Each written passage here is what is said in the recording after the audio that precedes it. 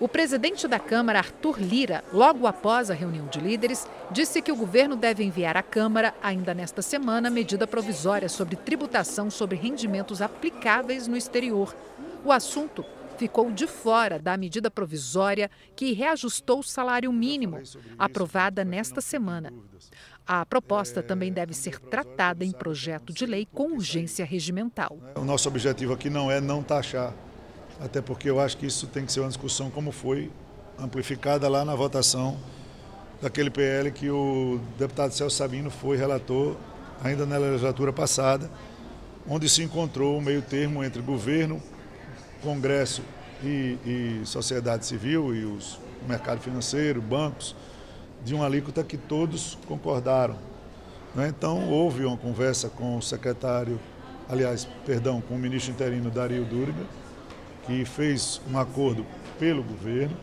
Segundo ele, já teve uma conversa com o presidente de exercício Alckmin, com o ministro Haddad em viagem, ratificando o acordo, que é basicamente o reenvio de uma medida provisória para ser é, base da, da, da, de cálculo, suporte financeiro da, da elevação do aumento da faixa do salário mínimo, que vem como ah, os fundos onshore. Tá? Para garantir orçamentariamente que o governo vai cumprir o que mandou e o que vai mandar na peça orçamentária.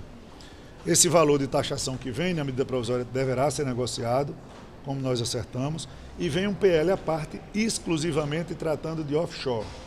O que é que vai acontecer no acordo que foi feito? Esse PL vai anexar os temas da medida provisória, ou seja, os fundos onshore e offshore serão tratados de uma maneira ampla neste PL. Quando o PL for aprovado, a medida provisória seria revogada. Lira explicou como ficou as negociações entre os líderes para a taxação das empresas onshore e offshore. O acordo que nós vamos tentar construir serão para todos as, as opções, onshore, offshore, ok? Com ausência de taxação de, de variação cambial quando for offshore, internamente no prazo 2215, que se diz respeito ao prazo de aplicação. Uma aplicação mais curta paga mais imposto, uma aplicação mais longa paga menos imposto. E a questão da taxa, que vai ser é, a discussão de se encontrar um valor onde seja execuível, justo e que o governo arrecade o que precisa, ou até mais do que espera, que é a nossa perspectiva. Sobre o rito de tramitação das medidas provisórias, Lira esclareceu que este assunto já está sendo atendido por um acordo com o Poder Executivo. Qualquer projeto com urgência constitucional com um prazo de 45 dias é mais democrático do que uma medida provisória com efeito imediato. Toda lei, vocês sabem, que gera efeito positivo e negativo, contras e a favores. Então, a urgência de uma medida provisória ela tem que ser restrita a casos excepcionalíssimos. Foi esse o motivo de uma conversa com o presidente Lula, que acatou e que disse que o governo ia fazer um esforço gigantesco para diminuir ao máximo a edição de medidas provisórias. A tese que a gente defende é que quando o governo está gestando um projeto que vai ser discutido no Congresso Nacional, se os deputados e senadores pudessem ser ouvidos antes para discutir sobre a forma ou como vem, o projeto chegaria com muito menos dificuldade de tramitação.